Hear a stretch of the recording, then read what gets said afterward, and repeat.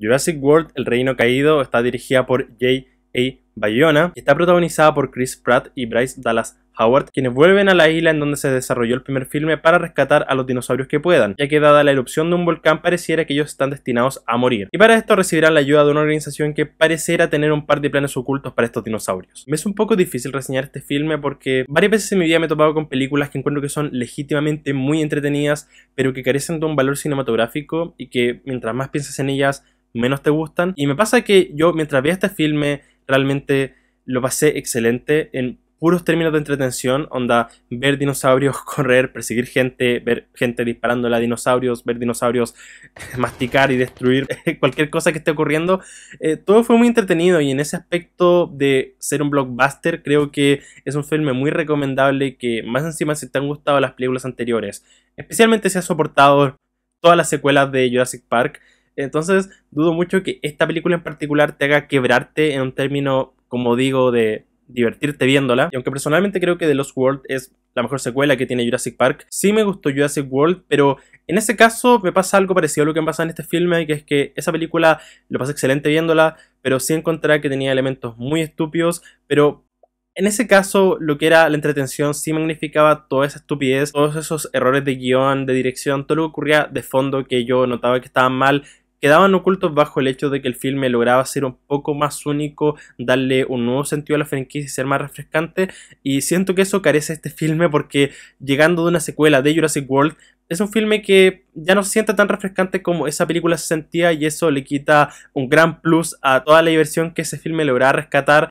salvaba de ser una película mediocre y estúpida. Y es que este filme realmente toma decisiones que son tan absurdas. Es decir, la peor parte de Jurassic World era el hecho de que hubiera un villano que quería usar a estos dinosaurios como armas. Y esa trama vuelve. No sé por qué, no sé por qué los guionistas pensaron que era una buena idea devolver la peor parte de esa película acá, onda, no vieron críticas, no tuvieron una retroalimentación de lo que falló en ese filme. No era claro simplemente que la idea de tener animales que son incontrolables, unas bestias literalmente que no puedes manejar, tenerlas como arma de destrucción masiva no es una buena idea y volver a rescatar esa trama acá ah, no tiene sentido. Y me ocurre que esta película toma una decisión que es bastante extraña, que es que en las primeras escenas realmente vemos a Jeff Goldblum, que no es un spoiler porque está en los trailers, y es de las primeras escenas de la película, pero bueno, el tema es que él aparece y básicamente replica lo que ha dicho en los filmes pasados, el hecho de que la vida se abre camino y de que si estos animales están destinados a morir, entonces no hay nada que se pueda hacer porque así funciona la naturaleza y esto es básicamente el mundo corrigiendo la mano del hombre, lo cual yo lo veo y pienso, tiene sentido. Y es curioso porque hay un video excelente de un canal que se llama Lessons from the Screenplay en que habla de Jurassic Park y cómo la primera película hace un contraste maravilloso entre las dos temáticas con las que el filme combatía, la idea del progreso a toda costa y la idea de que a veces el progreso no es tan bueno. Esa película lograba comparar estos dos puntos de vista de forma magna, hacer que cada personaje replanteara sus ideas y que finalmente la trama evolucionara mediante estos personajes. Pero cuando ya hemos visto cuatro películas en que todo sale mal, en que los dinosaurios logran escaparse, logran matar a todo el mundo, logran hacer lo que quieren, entonces un nuevo filme en que esa trama se replica, en que la idea de que puedes eh, de alguna forma controlar a estas bestias, no, no, no logra convencerme y ese es el principal problema. La película reconoce esto porque pone a Jeff Goldblum diciéndote esto a la cara y básicamente confirmando los miedos que las películas pasadas han hecho, pero luego en la escena siguiente tenemos a Bryce Dallas Howard que está en una organización que quiere salvar estos animales y luego se une a Chris Pratt para salvarlos. Entonces no logro pensar como, sí, vamos, dale, rescaten estos animales porque todo va a salir bien. Todo lo contrario, realmente lo que me pasa es que lo veo y pienso, esto obvio que va a salir mal. Y pasa que es muy obvio que a estos personajes los van a traicionar en algún momento. lo cual es muy estúpido porque son cosas que tú ves a kilómetros antes pero los personajes no ven y frustra bastante. A mí me frustra ver que los personajes simplemente no se den cuenta de lo que están siendo metidos, en cómo las cosas van a realizarse. Ahora no puedo ser injusto porque el dúo principal es muy carismático, especialmente Chris Pratt, que está repleto de carisma. Simplemente es un amor como persona, tú lo ves y quieres abrazarlo, quieres que le vaya bien, a pesar de que no puedas estar de acuerdo con sus motivaciones solo porque él como actor irradia esta emoción, tú realmente estás de acuerdo con él solo por eso y como que él sostiene este argumento más allá del hecho de que estés toda la película pensando no hagan esto, es muy estúpido. Y Bryce Dallas Howard no queda atrás, estuve también muy interesado en lo que fue ella y a diferencia de la primera película, se me compré un poco más su relación. En la cinta pasada ellos tienen una relación de amor y odio bastante pasivo-agresiva que por algún motivo desencadenaba en una relación de amor. En esta película me compro un poco más eso porque Bryce Dallas Howard no está metida en la gerencia, preocupándose del dinero todo el tiempo, entonces puedo entender que tenga básicamente características en común con Chris Pratt. Y debo reconocer completamente que la primera secuencia de este filme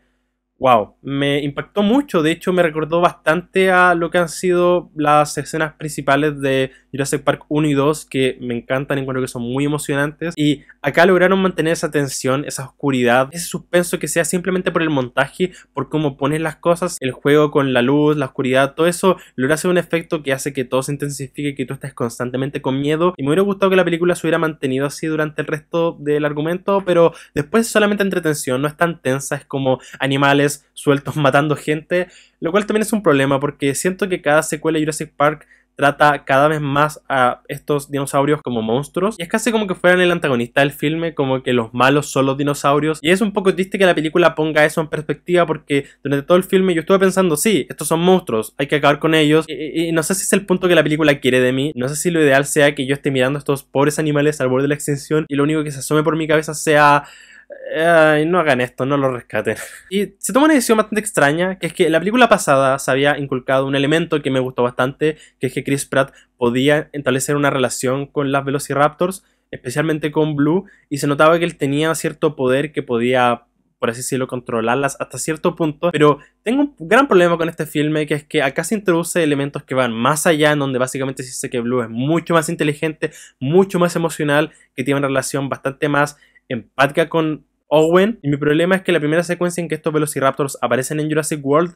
casi se comen a Owen es decir, él tenía cierto control, pero hubo un momento en que no dudaron casi en comérselo. Entonces, me cuesta pensar que realmente haya habido un lazo emocional. Es decir, hay muchos momentos en esa película en que estas Velociraptors no dudarían en despedazar a Owen si pudieran, incluso aunque él pareciera tener cierto control. Y hay momentos en que literalmente tengan un lazo con este personaje. Eh, me pasa que no puedo simplemente comprarme que el lazo sea tan afectivo y tan cercano cuando hemos visto en la película pasada que no es así. El control llega hasta cierto límite y no es tan, tan, tan profundo como esta película quiere hacernos creer que es. Aunque siendo completamente honesto, hay momentos que sí fueron muy lindos, que me gustaron mucho de cómo este humano se hace cargo de esta Velociraptor y cómo su lazo crece. Me gusta cómo un poco la película hace crecer esta emoción, esta amistad. No pensé que el filme lograra hacer eso, pero yo creo que si excluyéramos Jurassic World 1, este filme funcionaría mejor en ese aspecto. Pero lamentablemente la película no está simplemente afinada a Bryce Dallas Howard y Chris Pratt. Hay un montón de personajes secundarios que no me interesaron nada. De hecho, me molestaron. Este personaje que está interpretado por Justice Smith era un niño que estaba constantemente gritando y era un especialillo cómico pero no lo soporté, no soporté ninguna escena con él y no me gustó nada. No sé por qué incluyeron su estancia en este filme o por qué si quieren el argumento necesario él. Es decir, esta película intenta convencerme de que este chico y la otra chica que aparentemente es como una paleontóloga veterinaria, lo cual no entiendo muy bien si es que ella nunca ha visto dinosaurios en su vida. La película intenta convencernos de que estos personajes son necesarios, que necesitan ir a la isla, pero no entiendo por qué. Porque de hecho esta organización solo quiere que vaya Bryce Dallas Howard y Chris Pratt, al menos eso es lo que se nos dice, pero luego aparentemente era necesario que estos personajes estuvieran porque uno es informático y podía eh, descubrir ciertas cosas, pero ¿y si el personaje no hubiera existido? ¿Quién no hubiera sido el informático? ¿Había otro informático? ¿Y si había otro con Putin? No es más razonable que él supiera más sobre esta isla que alguien que nunca ha estado en ella o me perdí de algo y en algún momento se va entender que este personaje realmente conoce al derecho al revés la isla en que están estos dinosaurios. No me convenció para nada y me hace pensar que este personaje realmente no tenía nada que hacer. Y es que el guion es muy flojo, es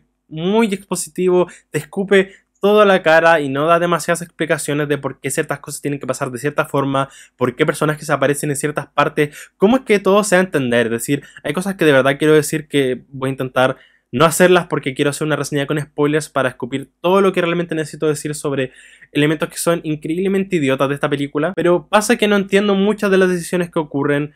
y por qué ciertos personajes no se dan cuenta de ciertas cosas. Hay revelaciones que no entiendo por qué se hacen de la forma que se hacen. Y lo digo en un sentido en que hay una cosa, un plot twist por así decirlo, que se revela de forma muy sólida, pero luego el filme decide revelarlo nuevamente, pero esta vez escupiéndole en la cara. Entonces es como que básicamente no confiaron en que el público fuera a entender lo que estaba pasando, a menos que lo dijeran en voz alta, lo cual es desconfiar completamente del público, decir, la gente no es tan estúpida, o quizás sí. Y finalmente tengo que mencionar el hecho de que en la escena final de esta película, muchas de las cosas que ocurren aparecen en los trailers. Onda, muchas. De hecho, la última escena de diálogo está en los trailers. Y ya viendo los trailers, para mí era obvio que habían revelado la gran cantidad del filme, pero no pensé que habrían revelado esa parte del filme. Y finalmente, no sé si es publicidad engañosa, no sé si puede llamarse así, pero realmente lo que creo es que hay muchas cosas en esta película que fueron hechas para ser puestas en un tráiler, que no tienen otro propósito en este filme que que se va a ver cool en un tráiler en una sala de cine y que la gente se va a emocionar por ir a ver esta película, lo cual no entiendo porque Jurassic World y Jurassic Park en general como franquicia es muy amada, la gente la adora. Jurassic World en sí creo que es como de las 10 películas más taquilleras de la historia universalmente y no me puedo creer que el equipo de marketing pensara que era buena idea simplemente hacer esto, vender la película de forma que eh, la gente de verdad, de verdad, de verdad quisiera ir al cine cuando la gente ya se sienta pegada por este concepto, por esta franquicia realmente lo encuentro muy estúpido y siento que ah, arruina un poco la película o el concepto de la película porque finalmente el filme parece casi una película de transición, como algo que tiene que pasar entre Jurassic World y lo que va a ser Jurassic World 3, porque cuando tú ves lo que pasa al final, es obvio a dónde quiere ir esta película. Y de hecho, viendo entrevistas con Colin Trevorrow, que fue el director de la primera película y que es productor de este filme y fue guionista de este filme, él quiso que la película fuera en dirección para poder hacer Jurassic World 3. Onda, su propósito era hacer ese filme y esta película finalmente es como lo que tiene que ocurrir entre medio para que pase esto y me da pena pensar que no tuvieron miedo a hacer un filme completamente mediocre con tal de llegar a la parte que tenían que llegar para poder hacer la tercera película, la cual espero que sea mejor. Espero que aprendan de todos los errores de estas dos películas, lo cual no me trae nada de confianza, pero si lo hacen, creo que legítimamente podría ser un buen filme si ignoramos todas las estupideces que pasan acá, pero no sé, habrá que esperar tres años para ver eso. Estoy conflictivo porque tengo demasiadas cosas malas que decir sobre esta película, pero en un aspecto netamente de entretención lo pasa excelente. Y si no te interesan todas las cosas malas que dije y solo quieres pasar un genial rato viendo Velociraptors y tiranosaurios y animales matando gente, entonces ve a ver Jurassic World, la vas a pasar excelente. A El Reino Caído le voy a poner un 4 de 10. Ay. Diría que estoy realmente decepcionado, pero siendo honesto, cuando vi el trailer de esta película no le tenía muchas esperanzas y realmente me dio lo que necesitaba, así que no puedo estar decepcionado porque me dio lo que yo estaba esperando.